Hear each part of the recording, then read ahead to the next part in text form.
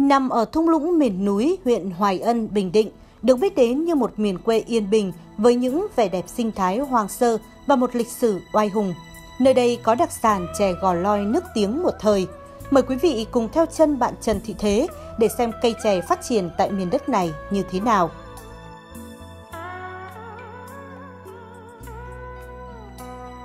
Mời cháu uống nước trà của đặc sản Bình Định, Bình Định.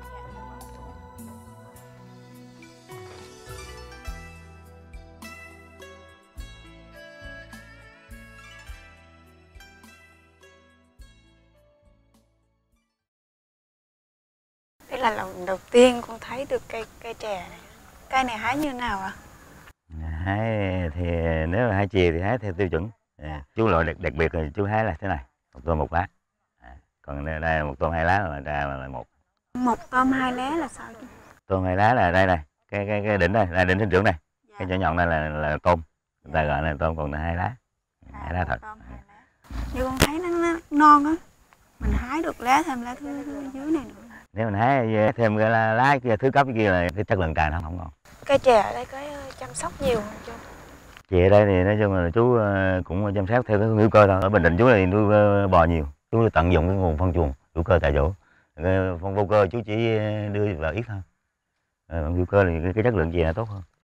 Chè ở đây có, có sâu bệnh nhiều trà thì nói chung là có cũng có sâu bệnh nhưng mà cũng ít nếu có sâu thì mình cũng dùng thuốc sinh học thôi. Ở chợ thấy người ta hay bán là trà xanh là, là trà này hả chú.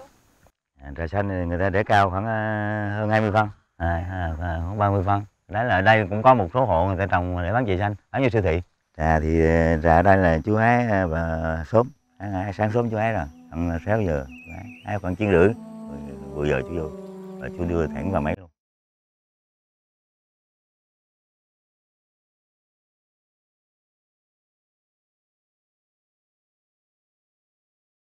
giờ cái trà sáng mình hái rồi bây giờ mình đưa vô mình uh, diệt men.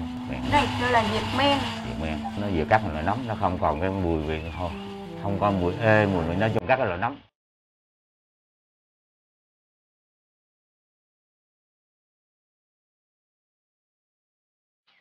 Công đoạn này là đây là công đoạn mình vò. Vò trà. Vò trà vò. mình vò này có tác dụng gì? Vậy vò để nó xính trà. Nó, nó để hình thành được cái bắp trà cho nó đẹp này mình vũ ra Đấy, vũ rồi ra rồi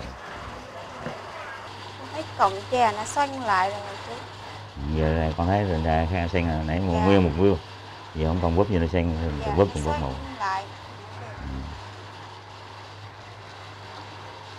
Thơm, thơm. thơm. giờ mình chuyển qua làm sao sản phẩm luôn á sao không bao lâu à à, khoảng uh, 15 20 phút